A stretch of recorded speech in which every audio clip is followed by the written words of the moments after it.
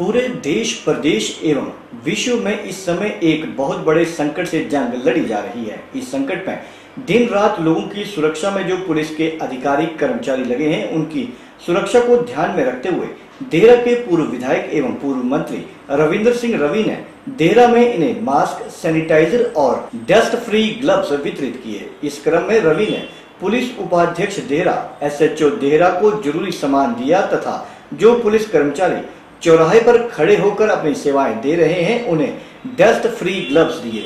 पूर्व मंत्री ने इन योद्धाओं का धन्यवाद करते हुए कहा कि ये योद्धा दिन रात लोगों की सेवा में लगे हैं तथा इसके विपरीत परिस्थितियों में पूरे समाज की सुरक्षा का दायित्व इन अधिकारियों के ऊपर है, जो योद्धाओं की भांति अपने दायित्व का पालन कर रहे हैं।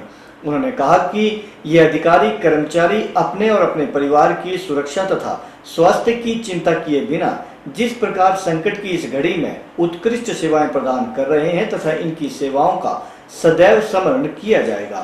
द्वारा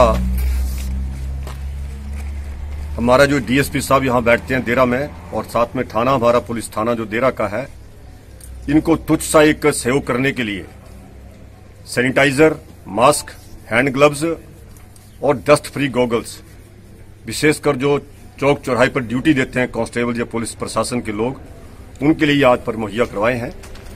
ये तुच्छ सा एक सहयोग है हमारी ओर से। लगातार आगे प्रयास हमारा जारी रहेगा। पता नहीं कब तक ये कोरोना वायरस पूरे विश्व में फैला हुआ है, मैं निवेदन करना चाहूँगा देशवासियों से, प्रदेशवासियों से, आप सभी से, कि जो इसके नियम बनाए गए हैं, सोशल डिस्टेंसिंग का, मास्क लगाने का, सैनिटाइजर करने का, या जो भी समय समय पर आपको बताया जा रहा है, उनका पालन कीजिए। घर में रहिए, सुरक्षित रहिए। आप भी बचें, बाकियों को भी बचाएँ, ऐसा मैं आपसे निवेदन करना चाहता हूँ। साथ में एक निवेदन मैं और करना चाहता हूँ कि इस विश्व में जो एक कोरोना वायरस कोविड 19 फैला है, इसका मुख्य जिम्मेवार कोई है तो चीन देश है। और मेरा निवेदन आप सभी से है, देशवासियों से, भारतीयों से, कि चीन उत्पादित वस्तुओं का प्रयोग कसम खाकर, देवी देवताओं की कसम खाकर बंद करें। मेरा निवेदन आपसे है कि होली चीन में मनाई नहीं जाती। सारे का सारा रंग होली का चीन से आता है।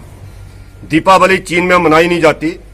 सारे के सारे पटाखे अन्य सामान सामग्री चीन से आती है।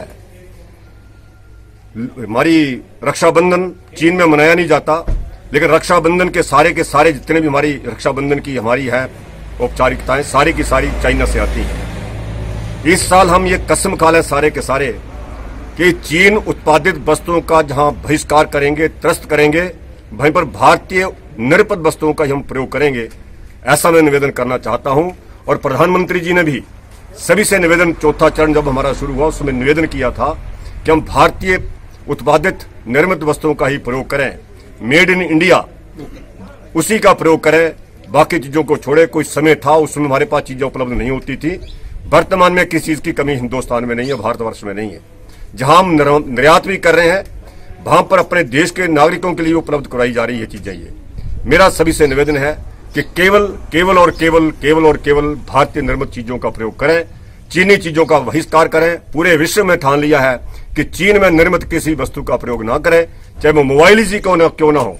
आने वाले समय के लिए जो हम अपने मोबाइल अन्य देशों के निर्मित हुए उन्हीं का उन्हीं को लेकर उन्हीं, उन्हीं का प्रयोग करें ऐसा मैं निवेदन करना चाहूँगा।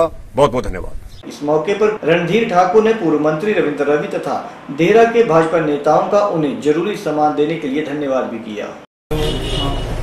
भारतीय जनता पार्टी की तरफ़ से सैनिटाइजर हैंड ग्लव्स चश्मे और मास्क पुलिस स्टेशन और पुलिस स्टेशन के के तहत काम कर रहे पुलिस कर्मियों को भेंट किए। उसके लिए मैं पूर्व मंत्री जी का आभार व्यक्त करता हूँ और धन्यवाद करता हूँ।